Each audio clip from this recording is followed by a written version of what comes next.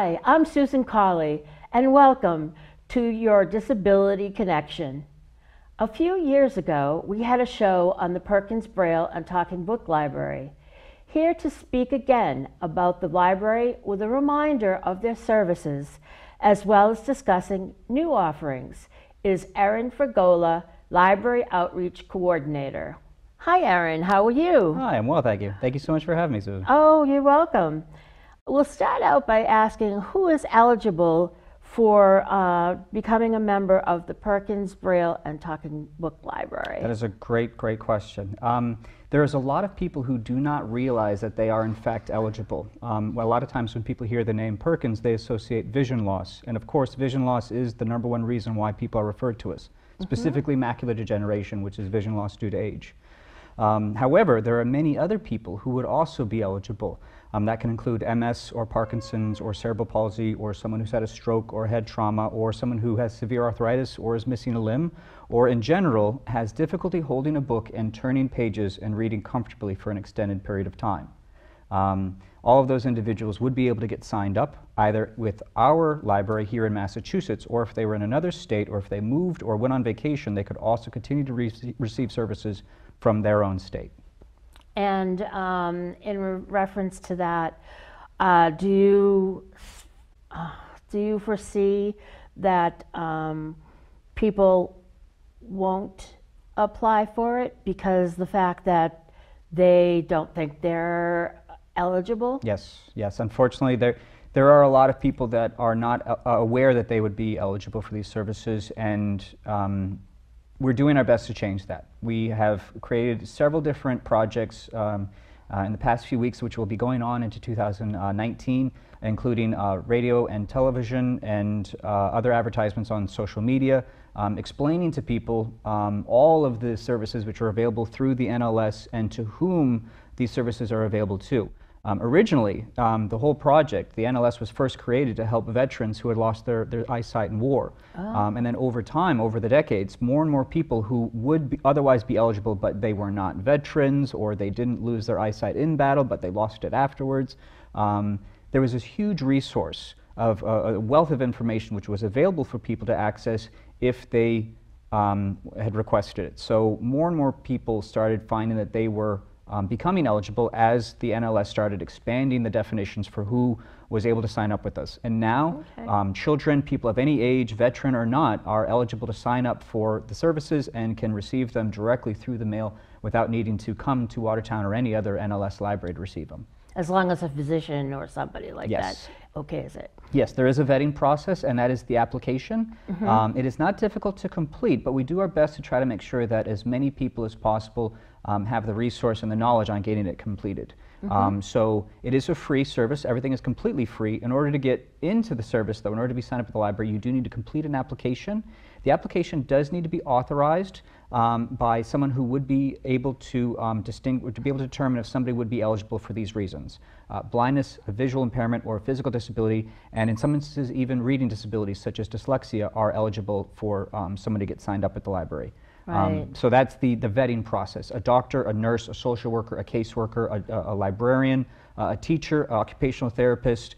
Um, uh, many people would be eligible to, to sign up somebody because of vision loss or a physical disability. Uh, for reading disabilities, it does need to be diagnosed, which means that a medical doctor would need to um, be the person to authorize the application if it were um, right. checked off as a reading disability. Right. And um, you had mentioned earlier to me that autistic children or autistic adults can qualify.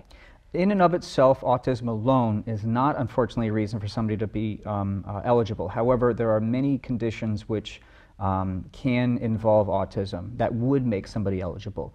Um, the point of the library isn't to turn away people um, who would be in need of these services. Mm -hmm. the point is to find ways that we're able to um, meet the requirements and make sure that the people who are best benefited by these services have access to them. Um, so in and of itself, autism alone is not a reason why. Okay. But if somebody feels as though they would be benefited by it, please reach out to the library, contact us, um, contact me directly if you'd like, and I'll do everything I can to, to, to, work within the system to make sure people are getting services that they need. Okay, that's great. Now, uh, what are the actual benefits of joining the library? Ooh, there's a lot. Um, you're a library patron for life once you get signed up with us. So even if somebody doesn't want to utilize the services right away, we have many, many students on campus who um, they uh, parents have chosen to sign them up, even though they may be too young to actually benefit from a lot of these resources. But they know that having access to this information as their child grows and progresses into adulthood, knowing that these resources exist and how to have access to them is immensely helpful. Um, one of the other um, uh, advantages that we have for making sure that people are aware about these services is that it gives us an opportunity to share everything that we do. One of the challenges that we have is there is so much that the library offers it can be a little daunting, can be a little overwhelming for somebody. Um, so giving them an opportunity to kind of ease them into these services gradually is helpful. There are many people who utilize their audiobooks. Um, that's our that's our main service that we provide. We also have large print books that not everyone knows about. Oh, we have I a massive large print collection, which is actually so large it's housed in Worcester, but it also is shipped throughout the state. So if anybody actually wanted to um, request a book from the library from the the large print collection, that'll be mailed to them. Wow. Um, so that is another service that people may not be aware of. Another benefit, though, is that especially with vision loss, there can be changes over time, and somebody may find that they are decreasing in their usable sight. And hopefully, somebody finds that they're no longer needing as much assistive technology as they go through surgeries or whatever Right, um, hopeful right. um, opportunities they have. Um, we are able to grow and evolve with that. Uh, depending upon what a patron needs, depending upon what their, their interests are, we're always able to improve upon that because people um, communicate with us. Okay. Now, how do you sign up for these services? I know you mentioned there's an application. Is there anything else they need to do? No, um, if somebody were to uh, be lacking any um, authorization for that, that's really what the, the, the, challenge can be. Um, I'll tell you a very quick story. There was a optometrist who had um, felt that a, a woman who had lost her vision uh, very suddenly, she lost about 80% of her workable vision in less than a month's time. Oh, that's quick. She had macular degeneration and it, did, it had gone undiagnosed until she was starting to have severe vision loss. And because it had gone untreated, um, her vision loss was pretty subtle, or pretty sudden.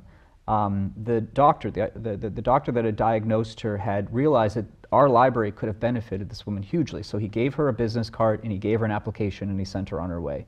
She could not read the application to fill it out. She could not read the, the card to call us up. She had to ask a neighbor in her building to call the number on her phone so she can call, call me. I was able to help this woman out, and I was able to also speak great. with the doctor's office and explain to them, like, you are an authorizing body. You would be able to sign up as many people as possible, and it eliminates this step. Because otherwise, she would need to go and find someone else to be able to authorize the application for her. And that is another um, important message that we have, is that if you are an agency which works with people who are eligible, uh, uh, hospitals, nursing homes, rehabilitation centers, schools, um, uh, a lot of these agencies can sign up people. There are many staff members that work at these agencies which can sign up people. So we do ask that um, uh, be aware about these services. If you do encounter somebody, if you know somebody who knows of somebody, share the information. It's, it's a free service that cannot um, be said enough nice things about on what we're able to do for people. Can you tell me a little bit about the lending process? Yeah, yeah. Um, so depending upon what somebody would like to order from our library and how they're receiving information, um, that of course would, would be different. So if somebody wanted to order our books, I'll, I'll give you an example. This is one of our talking books right here. It comes in this blue case. Um, there is an address card on the outside of the case which has the patron's home address on it. Um, when somebody receives one of these in the mail, um, and let's back up a little bit. Let's say somebody wants to read this particular title. This is The Mystery of Hollow Places. They can either call up online, or they, they can call up the telephone directly, or they can go online, and they can order a title, or they can even fax or email a request to us. Um, they can also have titles sent to them automatically based upon their interest. So they may not actually request this particular title, but they may like uh, Rebecca Podos books, um, or they may like this particular narrator, or this particular genre, um, or any number of things. Um, so once this book arrives in the mail, they open it up, and inside is the actual cartridge. So the book is saved on this. This is essentially just a USB thumb drive. It's a hard bit of plastic with a little small hard drive inside of this, um, where a title is saved in an audible format. This is placed inside the talking book machine, and the person would be able to listen to it. When they're finished listening to it, they would take the book out, they would put it back inside the case, and seal it up. On the back side, there is a address card. On one side the address card is the patron's home address. On the other side is our address. This goes back in the corner. It says right in the, in the, uh, in the side of this, free matter for the blind or handicapped. There is no reason to pay for postage. Um, another quick story there was a woman, um, she had an adult daughter who had come out to visit her, and the woman was a patron, and she had uh, said to her daughter, she said, There's a box of books by the front entranceway. Can you please return those back to the library? So the daughter, with all the best intentions, took the box of books, sealed it, brought it down to, brought, brought it down to FedEx, and then paid them um, to have it next day aired to us. Um, I made sure to call up the woman and explain to her that uh, in the future, you don't pay for postage with our library. Um, if it's something that comes from our library, it ships to and from um, the patron completely free. Um, free matter for the blind means you don't pay for postage. Um, now, that's with the audiobooks. Um, if somebody, however, wanted to download an audiobook, you don't actually need to return anything to us. Um, I'll go into that later, but the BARD does offer, it's an app that allows people to download material directly to their own device, so it's their device. They don't need to return it to us.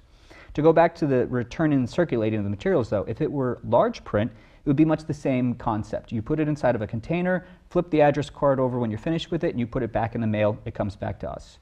DVDs, much in the same way, if you were to check out an audio described DVD, when you're finished um, uh, watching the movie, you put it back inside the orange case that it came in, you turn the address card over, and you send it back to us.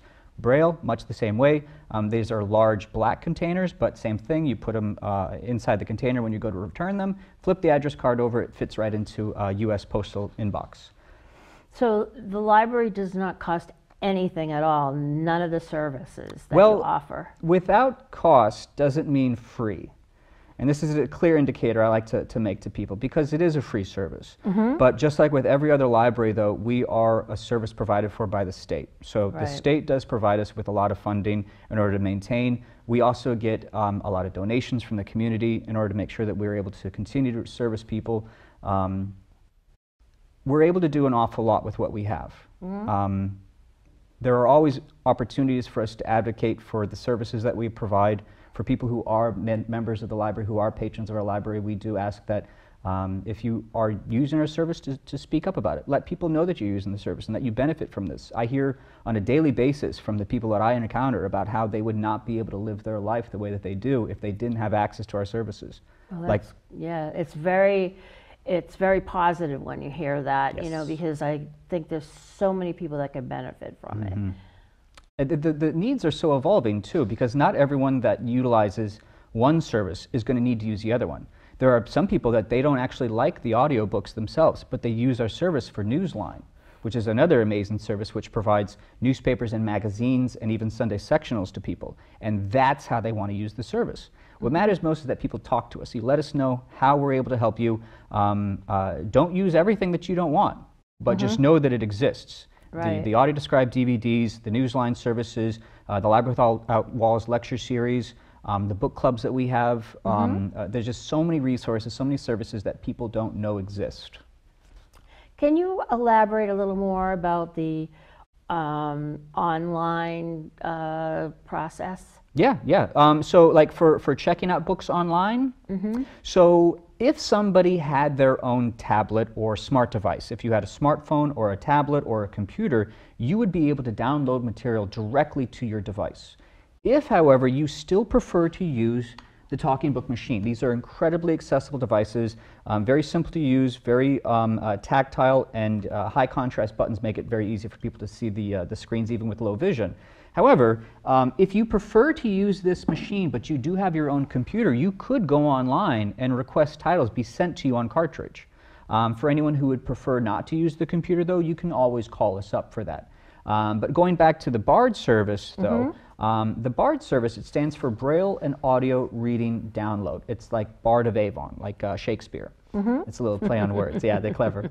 Um, so the Bard service actually is an app which can be downloaded on the Google Play Store or the um, uh, Apple Store, um, and then someone would be able to download from our entire collection. The same titles that we would send to somebody on a physical cartridge could also be downloaded online directly to their own device. And because it's their device, there's no reason to return it to us. Right. We do ask that people return the cartridges to us so that other people can check them out and enjoy the books and titles as well. However, if it's your device, there are many people that they like to keep a religious um, tome with them, you know, the Bible or the Quran or, or, or, you know, whatever um, religion they follow. Um, there's a lot of information that we have, and people could download that directly to the device, and then that's theirs to hold on to. They don't need to return it back to us. That's great. Yeah. Now, if a member requests a book that is not in your library, do you then try to record it for them? We can. Um, there are instances now. Um, there is a paid service. Now, to back up to what you said about it being free, there is one opportunity for somebody. If we don't have the title available, we can, upon request, produce the title. That, however, there is a fee to that, though. And That's only for special circumstances. If somebody has something that there's like a, like if it was a medical um, uh, uh, uh, article or something that was very specific, it doubtfully would ever be included with the NLS. Um, but we have had a number of people who have requested very specific pieces be recorded for them, um, in which case we would be able to do that. Yes. Um, so to, the point that I wanted to make, though, there was um, the book that came out, Fire and Fury, um, the um, the book about um, uh, Donald Trump. Um, there was Right. such a demand for that book. When people learned that we were producing that title, and they were able to go onto our website and see this book is in production. So many people contacted, not just our library, but every NLS library in the country was getting um, flooded with phone calls when are you guys going to have this book available?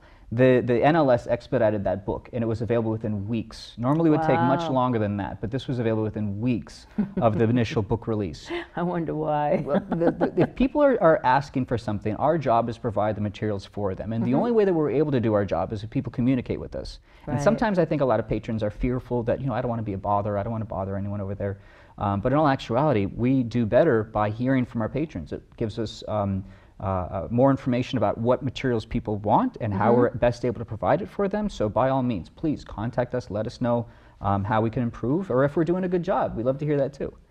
Now, um, how do books become recorded, and can anyone participate in that process? Not just anyone, but yes, we're always looking for volunteers to come down to the to the library. Um, every um, book that we have, uh, I shouldn't say every, almost every book that we have did get produced by the NLS. There are books and titles which do get produced by individual um, recording studios. Not every state has its own recording studio, however.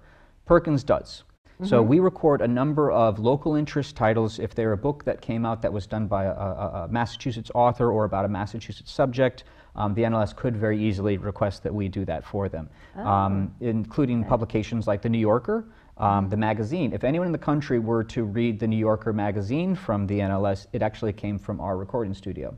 Um, now, about the volunteer service, though, there is a vetting process. Um, we do welcome volunteers, though, for a variety of different um, uh, uh, reasons. They are the backbone of what it is that we do.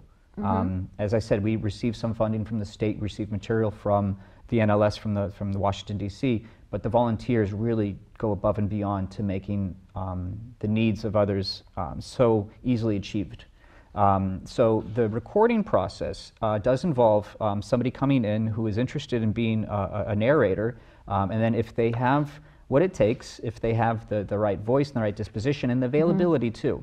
Right. Um, what we can't do is we can't start a book and then halfway through the book recording process, if the volunteer no longer shows up and doesn't uh, um, come into any more recording, we have to scrap the project. Oh, So that can be a little because of because it's not continual. Yes, yes. There, there have been a few examples where we've had different um, speakers. Um, quick story there was an author who was a local author. Um, uh, partway through the recording, he unfortunately passed away. Oh my goodness. Yes, he, he, he, he had written his own book and he had narrated his own piece, but partway through it, um, he did pass. And unfortunately, um, because of that, it kind of put us in a situation. But thankfully, his son um, was able to come in and finish the recording. And there was an annotation added at the beginning of the recording saying that partway through it, um, you know, the, the author had passed away and his son is taking over. Right. But what we don't want to do is to leave everyone confused. You know, like like all of a sudden the the narrator changes. Is this the same book I was reading? What happened? Is this a glitch? Um, so consistently, cons- consistency is huge for us. Making sure it's the top, best quality product we can possibly release. Um, thank you for that. How long can you keep materials? We talked about that once, but Yeah. um, again, why don't you refresh our Sure, memories? sure. So um, it's not an easy question to answer because it depends on what kind of material that we're talking about. If, as I said, somebody was checking something out from BARD, they can keep it as, as long as they want. It's indefinite. It's, it's your device. You are able to keep it there. If it's physical material that someone's borrowing, it depends on what the material is. For the most part, if it's a DVD, um, you can have it out for two to four weeks, and then we ask that somebody returns it back to us. Um, for the most part, everything else that we have can be checked out for six to eight weeks. Um, we do, in fact, though, not have a, um, a late fee policy. Um, what this means is that if somebody were to accidentally not return a title to us or it got misplaced, um, no one is on the hook for any large fees or overdraft costs or anything like that. Um, what we do ask, though, is that patrons are respectful um, and that they be mindful about the needs of others as well, and not to, to just Right. amass a, a collection of books and never return them back to us. Eventually, we will need to have a conversation, but for the most part, though, um, if somebody wants to check out the material, um, they're freely able to do that. Just make sure that you consider the needs of other patrons as well. Okay. Um, does the library um, um, lend out resource books?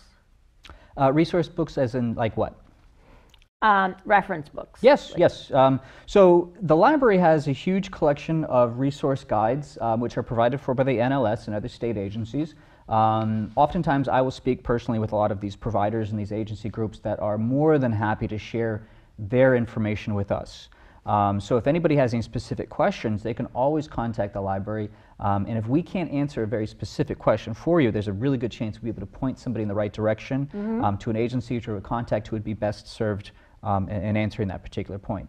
Um, but at the library itself, though, um, uh, we do have a huge collection of resource guides which can pertain to students, it can pertain to adults, to people with disabilities, to people who are um, completely blind or someone who has vision loss, vision loss due to aging, uh, materials and resource guides for someone during an emergency situation. Um, all of this resource is geared towards helping, and that's what it really comes down to. And if we can help somebody, or if you feel that we can help somebody by providing something, um, contacting us and letting us know is, is really um, helpful for us in, in, in moving forward. Okay.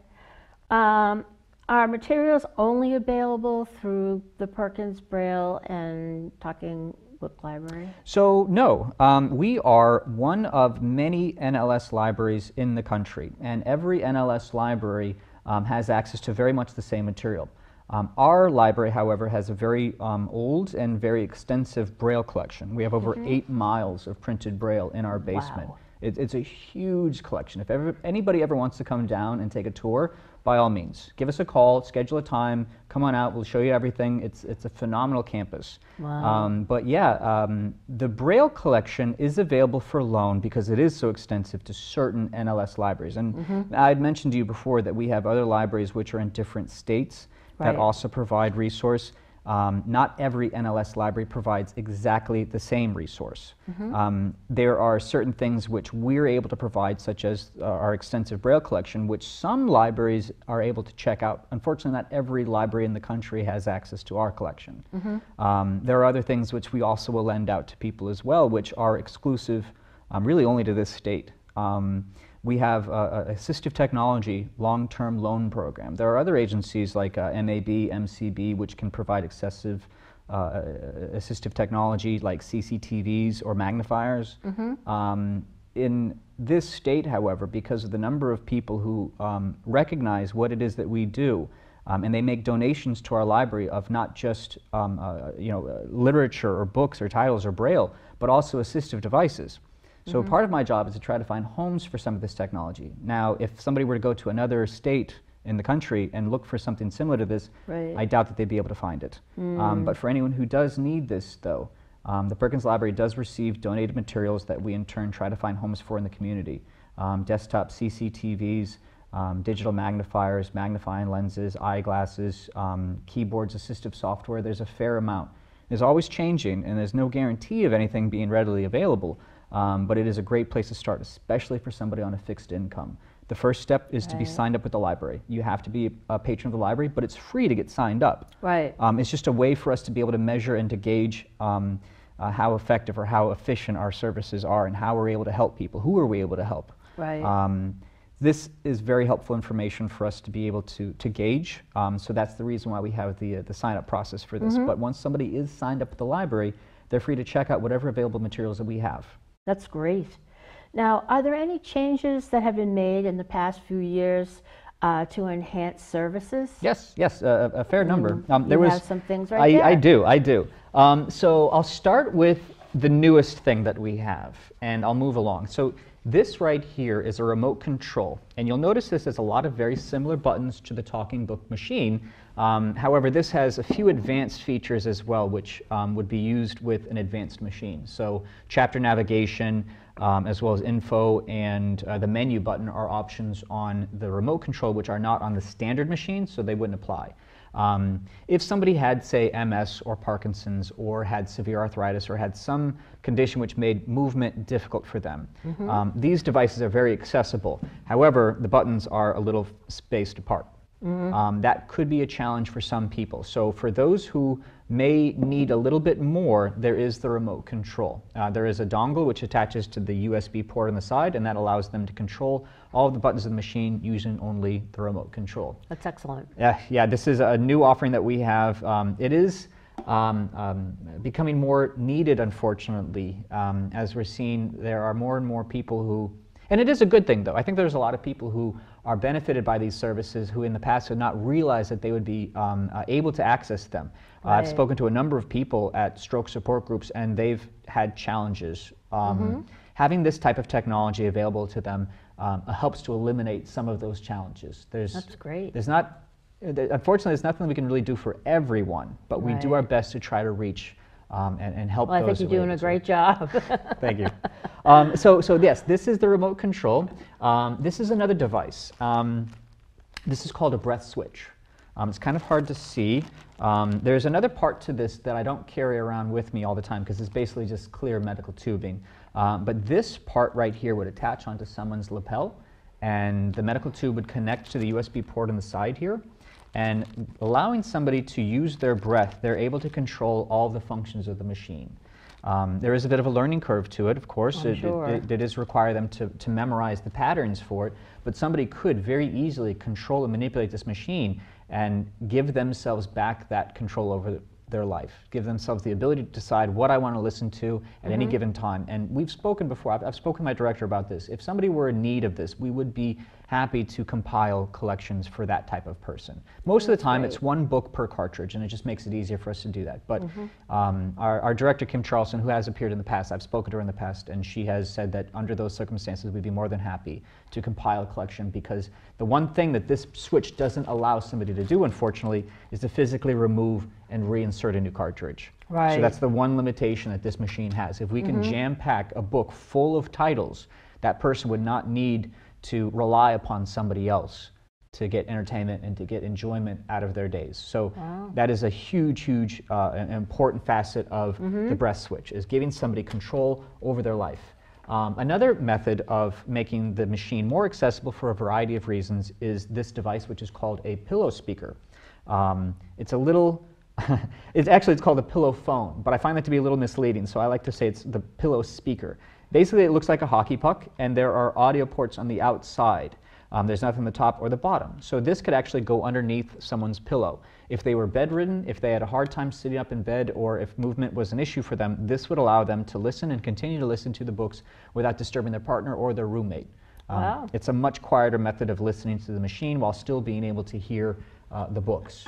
Wow, that's great. One other device that we have, which is actually not provided for um, through the NLS. This is actually provided for by the Bureau of Engraving and Printing. Mm-hmm. Um, but this is the iBill. This is a currency reader, which is made by manufacturer the Orbit Reader, uh, Orbit Research, which is actually the same company that is now making our refreshable Braille reader.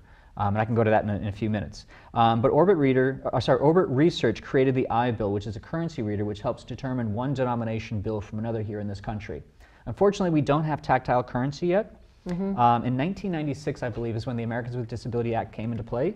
Um, and what that said was that all government agencies were required to provide accessible materials to people with disabilities. Right. And the Bureau of Engraving and Printing was no exception. Mm-hmm. So they originally had a timeline which would have put us at 2017 to mm-hmm. have accessible tactile currency. Right. Uh, unfortunately, we don't have it yet. We're still in the process of getting that, but it, it's, a, it's a slow moving process. We want to make sure it's done right. Right. Um, so in the interim, in the meantime, though, the currency reader, which was at one point in time sold for $100 a piece, this is now free. So if you're part of our library and you could use one of these, please call us. We're able to do the paperwork for you. If you're not part of our library and you could use one of these machines, you can contact the Bureau of Engraving and Printing and they can um, send you an application. You complete the application much in the same way somebody would get signed up with us. Right. Um, we kind of go around the vetting process for the currency reader because once somebody signed up with our library, they're signed up um, and eligible for other services. Right. Um, so the currency reader, it does operate with a single AAA battery. Um, there is um, audio uh, input as well as tone. uh, I'm sorry, output, audio output as well as tone and vibrate too. Wow. So if somebody, I'll just hit the button. So this is set to vibrate. And what this will allow is for somebody who is in a noisy environment or someone who is uh, deaf or hard of hearing, if they have a hard time telling what the machine is reading aloud to them, uh, this will give them still feedback, haptic feedback, that'll tell what the, the domination is. And if you want to change it, and I'll give you a quick crash course, there's a button on the bottom, there's a button on the top to change the settings. You press and hold down on one, and then you press the other one and you cycle through. And that's how you would change the settings. Well, I thank you very much for joining us today. We've learned a lot. Thank you so much for having me. I, You're I really appreciate this. Okay. Um, Perkins Braille and Talking Book Library is an excellent resource for those who are blind and others who have difficulty reading. Make sure you check it out. Till next time on your Disability Connection.